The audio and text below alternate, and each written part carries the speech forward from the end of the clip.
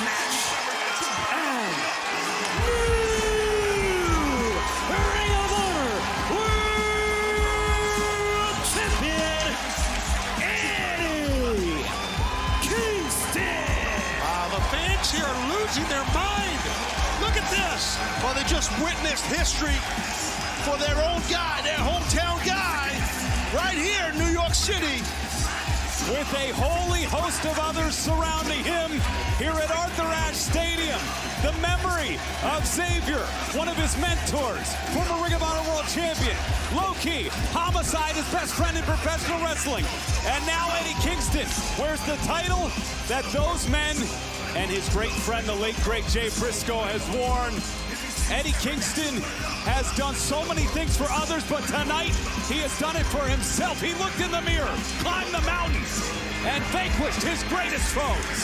Yeah, right now, Claudio cannot believe it. He looked at Wheeler, he said that was only two. But no, it was a solid three count.